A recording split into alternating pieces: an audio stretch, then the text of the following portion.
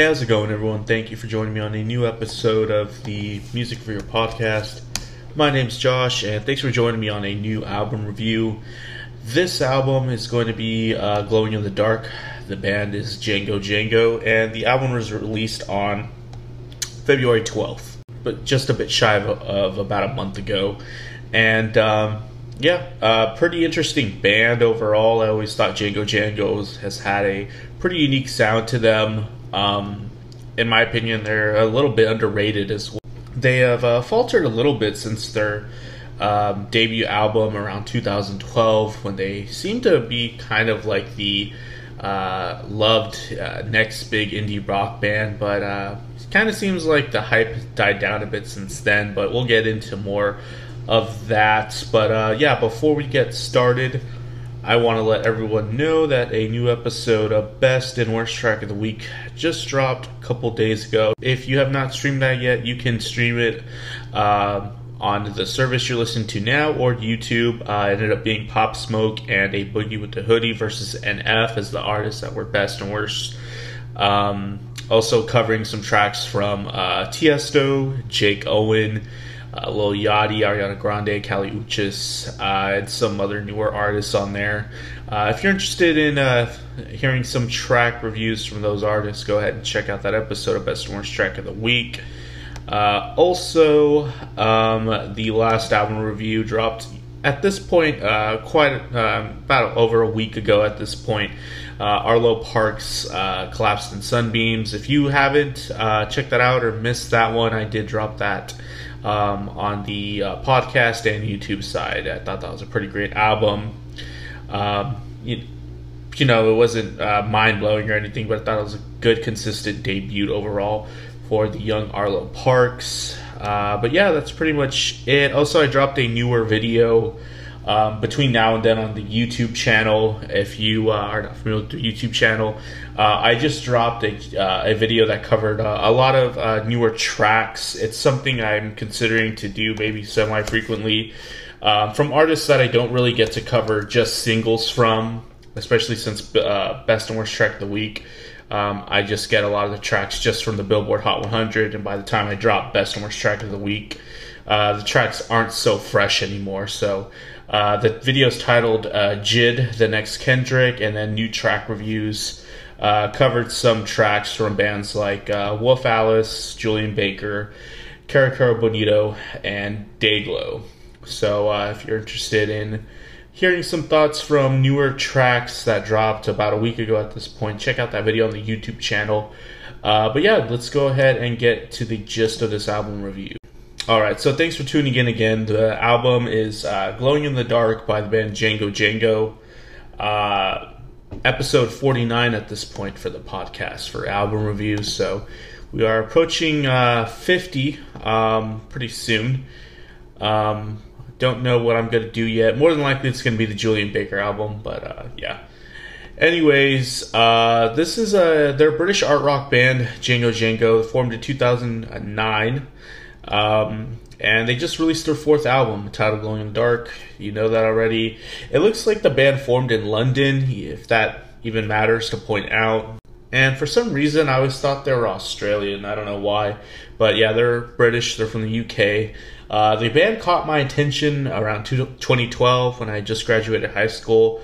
Uh, coincidentally, the debut album, self titled album, uh, was released that year. Uh, and I can remember hearing Default, one of the singles from that album, for the first time, and being quite captivated by how unique uh, their their sound was. Really, uh, I hadn't really heard a band um, with that sort of style uh, before, and even around that time, I was listening to, you know, some more underground bands. I wasn't, you know, quite a, uh, I guess, uh, quote unquote indie head or um, you know, super into underground stuff, but I was certainly listening to uh, more smaller bands uh, from the average, you know, person my age, I think. Um, but anyways, um, yeah, was kind of pretty. I was pretty interested uh, about how Django Django had like this quirky electronic indie rock blend with like these really cool um, harmonies, vocal harmonies that were just uh, so perfectly executed and um, so and the the textures of the voices would blend so well to like this sort of um, I don't know how to describe the vocal tone, but just a very unique way of singing as well. Um, really good vocal harmonies. That's a very that's a strong point of this band. Um, I can only really think of a couple more acts that really pull it off that nicely. Um, you know, I'm thinking of like maybe uh, Warpaint, uh, even though their music's a bit different from Django Django. But yeah, there's several artists that have come throughout the years that have really uh, executed uh, vocal harmonies quite well. Um, I'd say at, at, this point it might be expectation if you're really going to want to pursue music uh, or live music uh, in some sort of fashion. But on the indie rock side, I mentioned Warpaint and then maybe uh, you know Alt J, which I'd say Alt J um, coming around coming out around the same time. Um, I think maybe Django Django beat him to the punch a little bit earlier from Alt J's first uh, album. Don't quote me on that, but um, I guess you could say Django Django was like a sort of precursor to how big, I guess, Alt J and bands like maybe Glass Animals, like this indie psych rock uh, stuff in the UK would eventually become, or how big it would eventually become. I feel like you can maybe categorize Django Django to be somewhere in, within that vein. And I even have some fond memories of even physically ripping their debut album from their their CD um, in my first college dorm room and uploading it into my Google Music library, which was something I was doing habitually at the time from various artists. Uh, RIP to the Google Music service that was uh, really ahead of its time. Um, kind of stuff. Uh, this is a tangent, but a really cool service that uh, helped me, um, you know, organize and uh, eventually uh, listen to tons of music throughout the years in the early 2010s. Uh, that was completely free. So yeah. Uh, but anyways, Spotify came around. Uh, but different story for another day. The guys are a quartet that seem to have met college. And it seems like the band uh, were surprised by the earlier success, the nomination of a Mercury Prize in 2012, and publications putting the self titled on their year end list with much critical acclaim. Um, it seemed like the band really had the intention of being a small indie act that maybe sold a few hundred copies, which I'm sure is the story for count the story for countless other bands uh, all over the world. Uh, but the band does have interesting roots, with some members being originally from Ireland and Scotland. They're not all originally from London. And also David Maclean, I believe, was a drummer, having a few family members with success in the arts as well. Um, it's a it's a really it, I find it to be almost an anomaly that the band seemed to have peaked um, since their first album. Um, you know, it seems like it hasn't been tumbling downhill, but certainly not to the uh, I guess the magnitude uh, since then. There has their music been received. Um, it doesn't really seem like the band has had as much media attention or critical acclaim uh, when they're just fresh out the oven. You know, it's a bit interesting because the band hasn't really seemed to have changed anything up uh, much or even lost much of a step either. So, not sure really what the deal is on that. And uh, their previous album, Marble Skies, uh, which was released in 2018, um, I thought that was. Uh, listened to that album in preparation for this review and it's overall a, a, pretty consistent album. It doesn't really deviate much away from what you'd expect the band to have pulled off. Uh, you know, they kick off the uh, first track with a um, a killer '80s uh, styled cut with some uh, with some powerful synths that would fit quite naturally on like "Blinding Lights" by the Weeknd nowadays. The next track, "Surface to Air," is a weird dance hall inspired uh, track that works, uh, which I guess in 2018 uh, that's kind of coming off the tail end uh, of when like dancehall was really prominent in like a lot of hip hop music, a la Drake. Um, Tic Tac Toe is an easy, remarkable track or rememberable track with uh, its easygoing, anthemic indie rock nature. I know I've heard it come up a bit on some Spotify radio stations. uh, and various indie radio stations. So uh, definitely not too much of a like of a underground cut for the band. Beat Me Up uh, had some retro flavor to it with its electronic instrumentation. Uh, had an uh, had an interesting dark psych influence to it as well, which I think the band really uh, shows off its strengths when it's uh, kind of flexing its psych influence. Uh, the track uh, Real Gone uh, reminded me a lot of the band Jagwar Ma, I believe an Australian band, don't quote me on that uh, with its focused synth work, structuring the track, and overall, most of the tracks uh, seemed quite standard for what you'd expect on a Django Django album. If anything, I like that the album overall was concise and heavy hitting for the most part. And in comparing it to this new uh, album, Glowing in the Dark, uh, it seems like the band went in with uh, experimentation of mine, um, but still wanting to keep a level of consistency that doesn't delve away from their traditional sound too much. And I think that's exactly what we got in Glowing in the Dark. Um, it's easily a solid album. Uh, there's nothing wrong with that. I'd say it's probably as enjoyable as Marble Skies. I honestly couldn't pick which one I prefer, uh, just because I'm not that heavy of a Django Django listener. But um, you can put both of them on at the end of the day, and I'd say they're you know just fine. Um, but you know, get, getting into like the gist of like this album, uh, the, their latest one here, uh, we get a track that I find to be one of probably the most more memorable Django Django tracks I've heard. Spirals. Uh, it opens up with a synth ostinato arpeggiated melody that guides the track, and it grows faster and faster as the track's introduced. Um, and the track really has this nice gritty, effect-soaked bass line that cuts through quite a bit it's a bit of an interesting direction that the band went with that kind of made the album feel or this track feel a bit more raw in comparison to like a lot of the stuff on the previous album. Uh, and then definitely here we get a lot of psych nature to it with uh, the typical Django Django aesthetic uh, with their haunting vocalizations and harmonies. Um, the chorus is memorable as well. It's quite hooky. I really think that uh, this track uh, did that well. I feel like maybe the album could have used more of this to make just the tracks a bit more memorable overall. Um, I like the elongated instrumental interlude in the track as well. That really highlights all the textures in this track. It's a really lush track. Uh, and also some nice guitar work thrown in all over. Uh, not bad, although the track maybe lasted a bit too long, but then again, that really didn't bother me too much. Didn't quite really find this track to be as much of a highlight, but there were some interesting bits about it.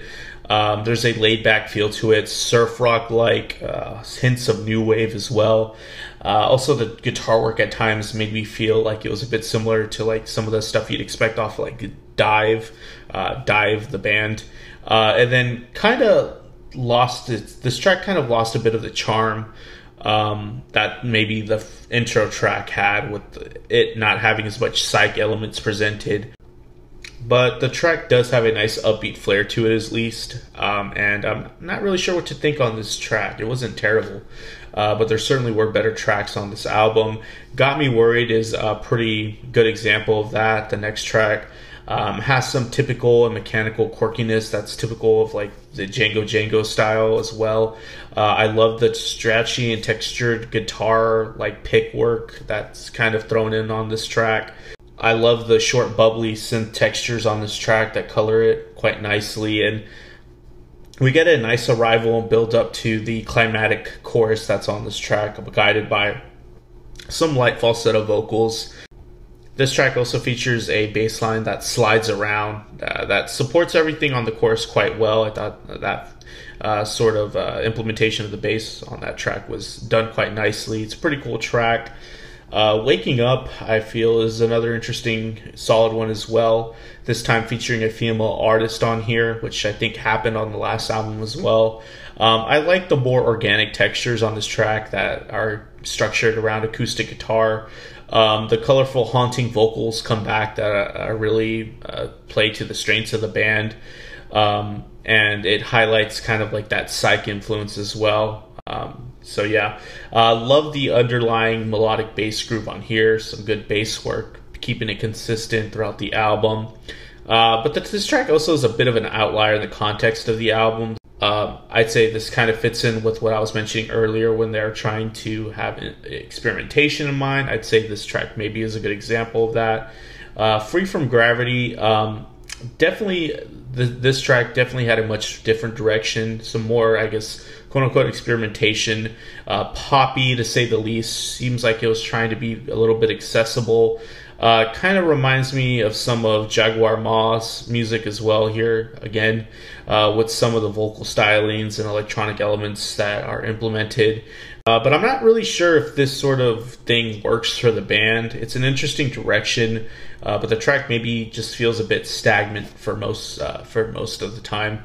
Uh, next track was Head Rush. opens up with like some cool block hit auxiliary drum sounds that are kind of memorable a punk like and bright bass line cutting through quite nicely. Um, I like how some of the melodic material lines up with the vocals and the bass line as well. It happens throughout other tracks on the album, and it comes out nicely every time. Uh, nice call and response backing vocals on this track as well. It's not a bad cut, it has its moments, but maybe it can feel a bit dragged out as well. Um, Next track was The Arc. It kind of blends in from the previous track. Don't have much to say about this track. I didn't really find it to be uh, that much of a highlight. It was a bit of an oddball. Uh, Night of the Buffalo, I feel like, is a solid track. I love the return of the signature haunting vocal harmonies on here that the band does quite well, uh, as usual. Very jam like nature on this track with buzzy guitars that nicely that guide the track nicely as well. Um, a developed bridge section here with some colorful harmonies and instrumental textures um, happens as well. Um, and I love how the bass and vocals line up on this track. I said it not too long ago. It happens again here, and it makes the track quite nice. Uh, and then here we get like a bit of a, I guess, curveball. We have a string outro, like this chamber quartet, or I don't really know what's going on, but it's something of that vein that is I don't know if the band performed it or if they just hired some orchestral musicians to play it, but it came out quite nice and beautiful. Um, made the track really nice. Um, the world will turn. Um, I will say, didn't find it to be too much of a highlight, but th- it does feature some uh, experimentation, like I pointed out earlier. But even with all of the uh, experimentation with like the light string textures and plucked acoustic guitar, that's not too characteristic of the band. The track has some of their signature vocals to keep it consistent, at least. Uh, Kick the Devil Out. Uh, here, I thought this was a much needed, I guess, uh, return to form or I guess, energy, um, some much needed energy at this point. Uh, we get a bit of a funkier sounding and upbeat track. Uh, love the lead guitar um, counter melodies throughout the track as well. They're executed quite well compositionally. It makes the track better. Uh, some tight pocket style drumming. That's great. Um, this track kind of resembles a lot of like indie pop from like maybe the late 2000s or maybe even some Brit pop. Remind me a bit of like a Blur track or some Blur influence. Um, next track, Glowing in the Dark, the title track, uh, thought to be a bit of a weird turn and, and in terms of like you know their experimentation. There's some poppiness to it, not very rock like. Um, it sounds like Hot Chip if you're familiar with that UK band Hot Chip. Uh, with the grainy sounding synths, uh, the syncopated drum groove that structures the track. Um, it contrasts highly to like a lot of different a lot of the other tracks on the album such as the world will turn. Uh, but it's a fun track um, uh, you know for the most part. It's not bad. Hold fast didn't really you know think too much of it either. Some more hot chip influence for some reason. Um, it's spacey. There's some bubbly electronic elements that structure everything. It wasn't bad but i didn't find it to be too captivating. And then the last track of the album finally asking for more wasn't too sold on this, especially for it ending the album. I feel like it was kind of a drab way to end this album. Uh, Mid tier, filler like in comparison to a lot of the other great tracks on here.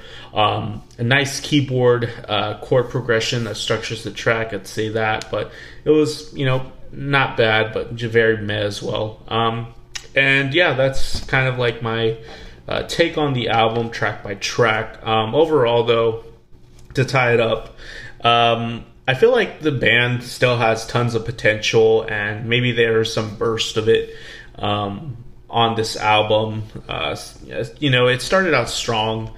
Um, you know, the, if the track maybe was as memorable all throughout, track by track, with uh, you know how they opened it up on spirals, I would have really dug the hell out of this album. Um, and then there were, you know, other points that I felt like, hey, that's a good direction the band went in.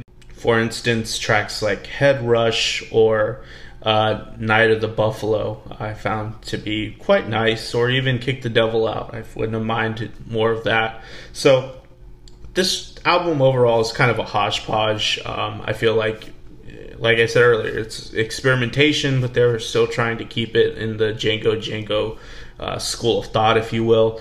But um, not a bad album at all, really. Um, I really wanted to enjoy it more, but I feel like it's a six out of ten, which at the end of the day really isn't bad. Um, I feel like if you're a G- hardcore Django Django fan or just fans of bands like in this vein, like I don't know, Alt J, maybe earlier Glass Animals, um, I don't know or if you're like very into like psyche stuff like uh, Deerhunter for instance uh, you might really dig this album or you just might find it to be average. If you just like your typical or just like casual indie rock listener you might find a track or two off of this album that you really dig but i feel like it might not be that memorable either the vast amount of music that's out there too. So uh, yeah i don't know. This album i think is mainly for uh, really people that are really interested in what Django Django are doing nowadays. Um, maybe tracks like Spirals. I've heard it a bit on some indie rock rotation. Um, maybe that'll uh, captivate or strike the interest of more people. But anyways, yeah. Uh, if you stick around to the end of the review, thank you for joining me on this album review. My name is Josh. I'm a music reviewer, and uh, yeah, thanks for joining me. Don't know what's next really. Well, I do know what's next. I'm pretty sure it's Julien Baker Hopefully, I'll drop that not too far away from now. After that, I don't know, maybe Kings of Leon. Uh, a lot of stuff is dro- dropping. It's kind of overwhelming right now, and I don't know really what to cover. So, uh, if you ever have any suggestions, leave it in the comment section in YouTube. Send me a voice message in Anchor. Uh, like and subscribe on YouTube, or just leave some feedback, good or bad. And also subscribe on your uh, desired streaming service. Uh, yeah, but that's it. I'll see you guys later.